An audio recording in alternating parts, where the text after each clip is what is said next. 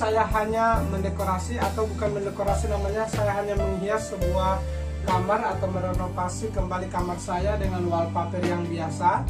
Kemudian saya tambahkan di bagian bawah itu wallpaper foam ya.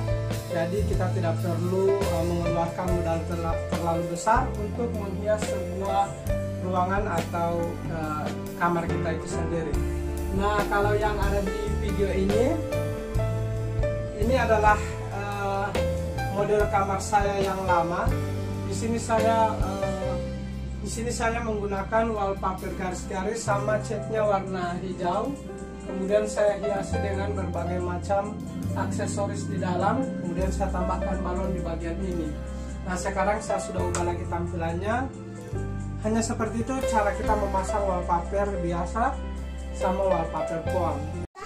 Assalamualaikum warahmatullahi wabarakatuh. Di konten kali ini kita akan coba untuk memasang wallpaper foam Wallpaper ini dibeli uh, lewat online ya. Jadi kita akan pasang di uh, pada sebuah dinding kamar Yang wallpapernya sudah mulai uh, rusak seperti ini.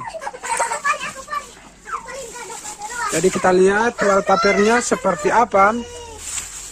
Ini mungkin uh, cara pemasangannya agak simple ya perlembarnya seperti ini. Dan di bagian belakang ini memiliki perekat yang uh, ketika kita uh, buka itu langsung ditempelkan ke dinding seperti ini. Okay.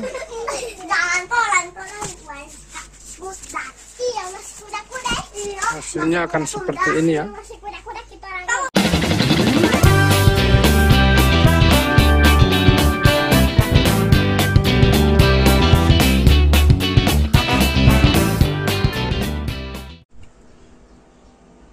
Oke, kita akan lanjut untuk uh, menambahkan wallpaper uh, biasa seperti ini.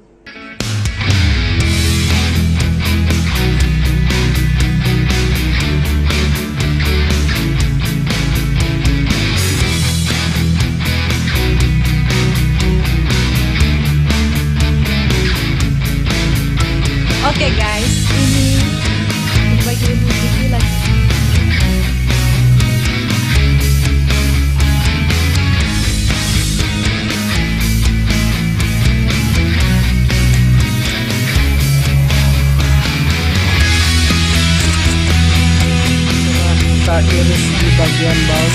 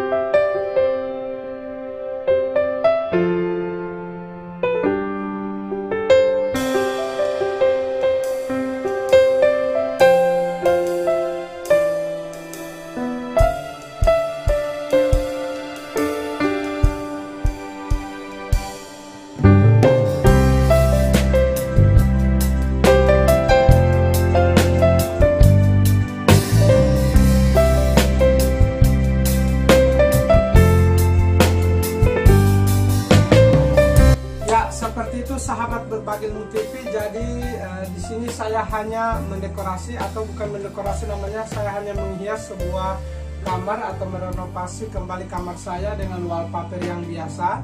Kemudian saya tambahkan di bagian bawah itu wallpaper foam ya. Jadi kita tidak perlu uh, mengeluarkan modal terlalu besar untuk menghias sebuah ruangan atau uh, kamar kita itu sendiri. Nah, kalau yang ada di video ini, ini adalah model kamar saya yang lama. Di sini saya uh, di sini saya menggunakan wallpaper garis-garis sama catnya warna hijau. Kemudian saya hiasi dengan berbagai macam aksesoris di dalam. Kemudian saya tambahkan balon di bagian ini. Nah, sekarang saya sudah ubah lagi tampilannya. Hanya seperti itu cara kita memasang wallpaper biasa sama wallpaper phone. Jadi kiranya uh, konten ini bisa bermanfaat untuk mengubah uh, pola pikir kita bahwa untuk mengubah suatu ruangan menjadi seperti apa yang kita inginkan tidak perlu modal terlalu banyak. Sampai bertemu lagi di konten-konten selanjutnya.